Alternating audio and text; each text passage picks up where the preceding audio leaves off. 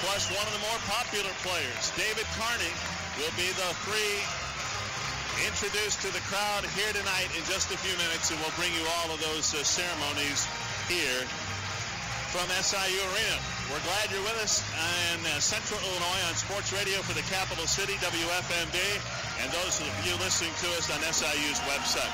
The Saturn Personnel Report is sponsored by Saturn of Carbondale. No haggle, no hassle for you or anyone.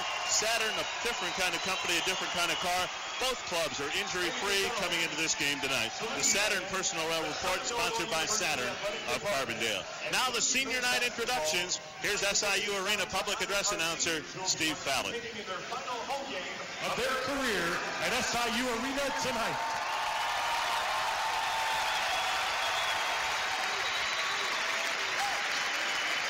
Our first senior hails from Tell City, Indiana.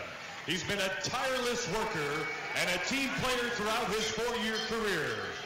Originally a walk-on, he recently earned a scholarship this season for his dedication to the Saluki basketball program.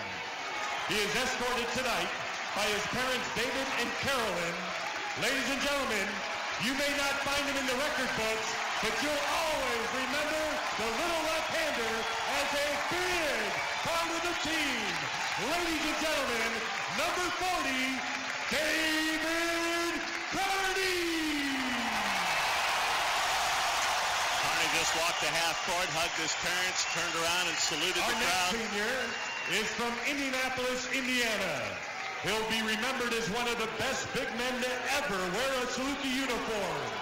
He has played in every game in his SIU career, and he has led the team in rebounding three years in a row.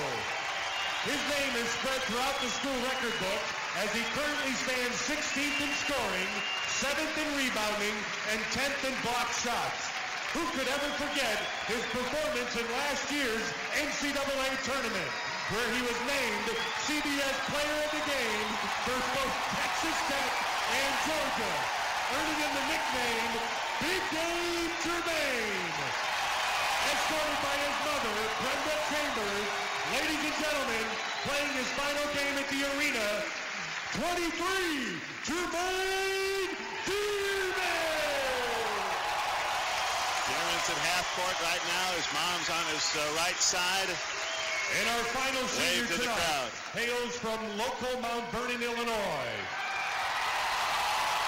He's escorted by his parents, Bradley and Barbara, and he has started every game in his career. He ranks second in career scoring. He leads the Missouri Valley Conference in assist to turnover ratio. He has scored in double figures an amazing 104 times. He makes big shots night after night. And at his current pace, he'll become the first player in school history to lead the team in scoring four straight years. What more can you ask for? Ladies and gentlemen, for the final time at the SIU Arena, number 33, Kent Williams!